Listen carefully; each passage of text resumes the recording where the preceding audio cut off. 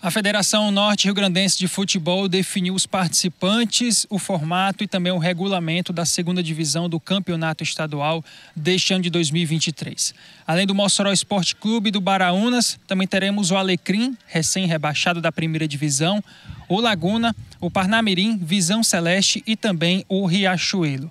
As sete equipes vão disputar 12 rodadas, jogos de ida e também jogos de volta, e a equipe com a maior pontuação conquista não só o título, como também o acesso à primeira divisão do Campeonato do Rio Grande do Norte da próxima temporada. A competição começa dia 1 de outubro e tem previsão de última rodada no dia 29 de novembro. E fica claro a expectativa para o bom desempenho das equipes moçoroenses, o MEC e também o Baraunas. O MEC já vem treinando há bastante tempo, vem reforçando seu elenco, com alguns jogadores, inclusive, que estavam no Potiguar.